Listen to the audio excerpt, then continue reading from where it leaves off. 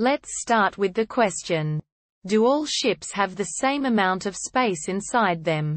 I was looking at images of fully upgraded ships and saw how with the human ship it expands top, bottom and left while the Novakid ship expands out to the left I am wondering if all ships have the same amount of space inside them or if some ships are actually bigger than others. So how can we solve this?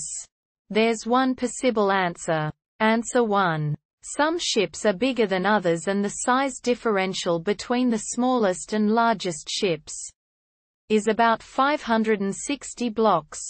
The human starter ship is has a relatively medium size at 3,752 blocks when fully upgraded.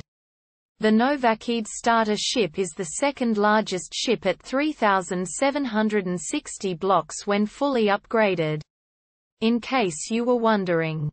The biggest ship is the Floran starter ship which has 4,013 blocks when fully upgraded.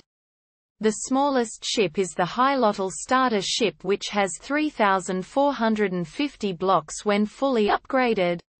Source: https colon slash slash starbounder. Org, ships.